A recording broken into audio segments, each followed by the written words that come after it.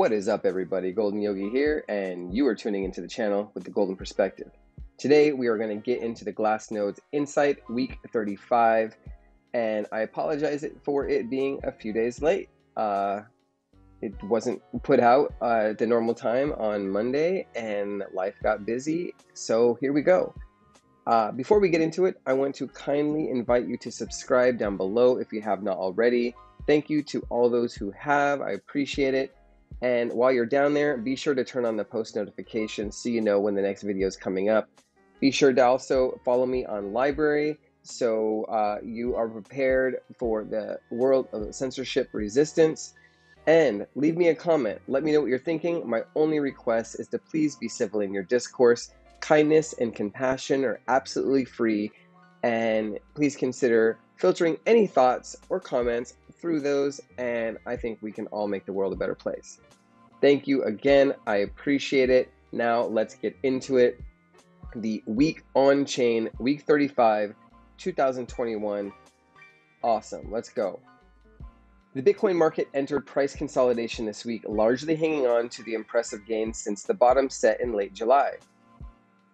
Prices traded between a weekly low of 46,465 and a new local high of 50,461. As the Bitcoin and wider cryptocurrency market rallies higher, a remarkable on chain divergence continues to form across both Bitcoin and Ethereum. On chain activity on both chains has remained quite relative to bull market highs. Even as price momentum continues upward, the bullish trends in supply dynamics remain in play. This week, we explore and compare a number of on chain metrics between Bitcoin and Ethereum to characterize this divergence.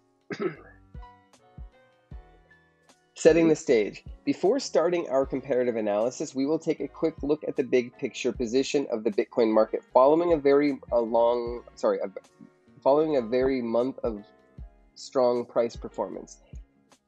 With prices pushing above 50k and some notable profit taking covered last week, the market currently sits at the top end of a very high on-chain volume node. The chart below shows the price bands where the current BTC coin supply was last transacted. Since breaching last cycle's uh, 20,000K all time high, three distinct on chain volume bands have formed. First, the 31,000 to 40,000 price range, which is the price floor, where over 2.98 million BTC were accumulated both in January of 2021 and in the recent two and a half month long consolidation. This is likely now a very strong underlying support zone. 45,000 to 50K, which is the current range we're in, where 165 million Bitcoin have uh, a cost basis. With price at the top end of this range, it is likely that this too could act as strong price support. Then we have the 53.7K to 59K, the trillion dollar asset, where 1.336 uh, BTC were accumulated between March and May and are still holding unrealized losses. These coins are those that remain unshaken by a 50% plus correction in May, but could also become overhead resistant if, in, if investors seek to exit at their cost basis. On net, this indicates that a fairly strong set of high conviction investors remain in the market and is powerful signal for the bulls. Within this context, profits have continued to be realized throughout August as prices continued to trade higher. This suggests an underlying market strength capable of absorbing the spent coin supply. The ASOPR metric shows that similar behavior was observed after the March 2020 sell off with the following sequence of events capitulation, where losses were realized by panic sellers for an extended period of time, profitability returns, as signaled by the ASOPR trading and holding above 1.0. This suggests profits are realized, but market strength is sufficient to absorb all sell pressure. And buyer conviction returns as the ASOPR resets to 1.0 on a number of occasions and then bounces higher, suggesting holders are profitable, coins prefer to stay dormant, and investors are buying the dip.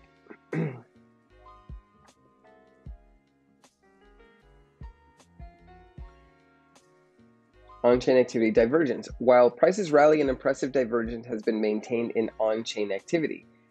Demand for block space on both Bitcoin and Ethereum remains well below uh, recent price peaks despite prices returning to elevated trading ranges. Active entities on the Bitcoin network is currently around 275,000 per day, um, around 35% below the January peak. Active addresses on Ethereum are similar, similarly down 33% from the May peak, currently sitting at around 450,000 addresses per day. It is notable that current activity on both chains is similar to the stable pre bull accumulation range established in late 2020.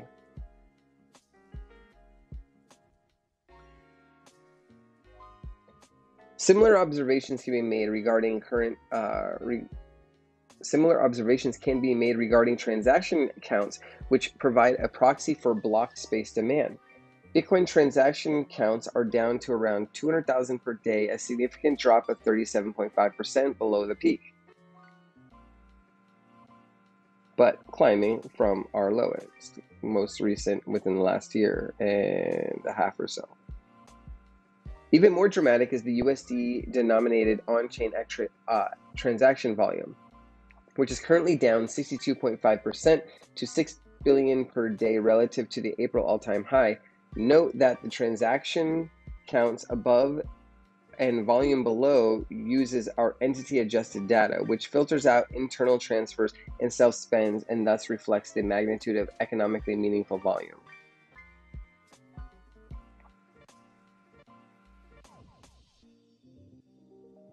As a result of this slim demand for block space, Bitcoin network transaction fees have declined considerably, returning to levels that have not been seen in the last year. At present, transaction fees average 21 Bitcoin per day, uh, representing only 1 to 2% of the total block reward. For Ethereum, transaction counts are also down 33% from the highs, with counts actually declining over the course of the week to around 1100,000 per day. Interestingly, within the Ethereum ecosystem, it, ecosystem, we are seeing a fairly dramatic divergence in on-chain attention. Whilst transaction counts are active and addresses are down, the magnitude of fees paid are trading significantly higher. This is most likely attributed, at least in part, to the strong demand in the NFT trading and investing. Total transaction fees on Ethereum network currently sit around 10,000 Ethereum per day, which represents a relatively high level, comparable to DeFi summer and the 2021 bull run.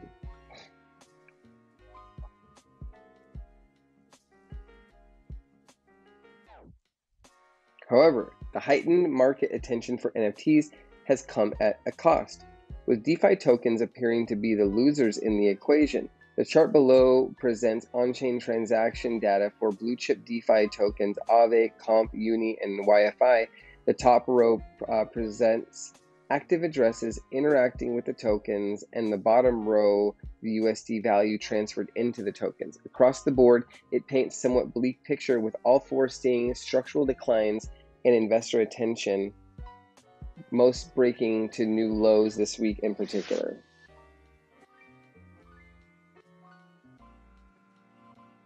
Whoa. Bullish supply dynamics. The question of whether a divergence in on chain activity is bullish or bearish is a complex one. As more trading volume for digital assets shifts to off chain exchanges and derivative instruments, furthermore, technological advances such as transaction batching, SegWit adoption, and usage of Lightning Network and other layer 2s make it a dynamic problem to solve. On the other hand, supply dynamics, uh, particularly looking at coin maturity, provides a fairly robust signal in either direction, uh, whilst observation of accumulation and hodling is usually a long range indicator. For example, it takes time to play out. Uh, in current market trend, the current market trend is historically strong for the bulls. The following chart presents a series of supply dynamic indicators for Bitcoin and Ethereum and it will become the immediate uh, and it will become immediately obvious that similarities exist between both chains and both look very constructive. Young coins are those coins younger than three months. They are most likely to be spent during volatility. A decline in the young coin hodl wave indicates the market is preferring to hodl and not spend. Young BTC now represent uh, now Young BTC now represent only 15% of the coin supply, and a very strong downtrend is in play. Not a lot of young coins. Ethereum hodl waves are almost the same chart, with young coins trending down toward uh, a long-term low of 12.5% of the circulating supply. More hodl.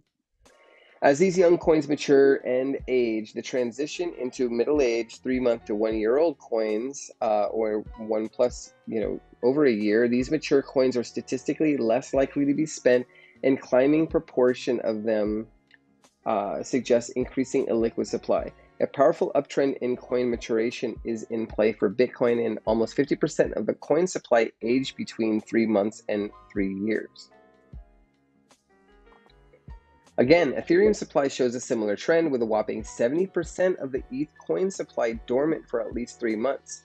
For both assets, this uptrend in older coin supply commenced around March 2021, uh, which therefore reflects a very strong demand to buy and hold throughout this bull market.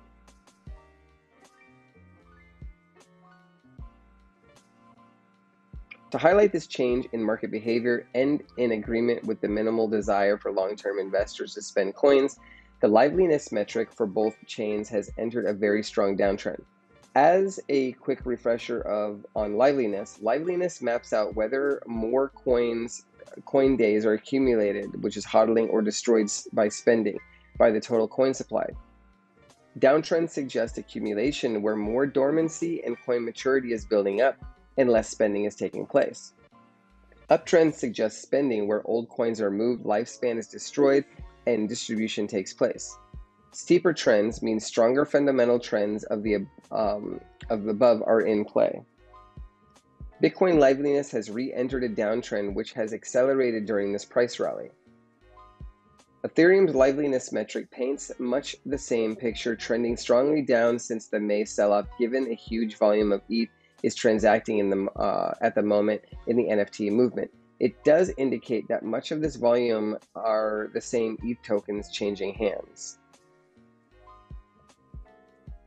Finally, a good signal of adoption, interest accumulation, and hodling is the growth in non zero balances. Bitcoin non zero addresses have continued to grind higher, having returned to over 38 million addresses and about to take out the all time high. Much like its elder, Ethereum non-zero address accounts are also in strong ascent, reaching a new all-time high of 60.7 million addresses.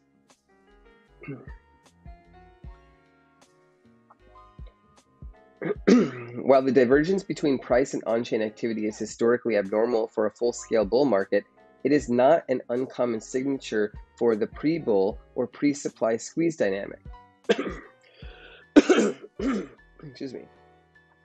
These periods often accompany the end of bear market accumulation, where the investors who remain are the strong hands, those with the highest conviction. Supply dynamics seem to suggest an extremely robust underlying demand present, and this should continue to be quite constructive for prices if the trend continues.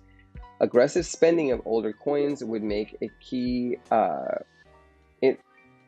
would be a key invalidation signal to watch out for. So this is it in this week's uh, Glassnode report, Glassnode Insights. The link is in the comments. Thank you so much again for following. I appreciate it. This is all super interesting stuff and is pointing more and more every week as since I've been doing this that we're probably not in a bear market and we were just in a big uh, correction. And we will probably continue to see future highs. I'm excited. This is not full, uh, uh, you know, confirmation. Um, we still need to see more, but I'm excited. All right, everybody. Thank you so much. I love you. Peace.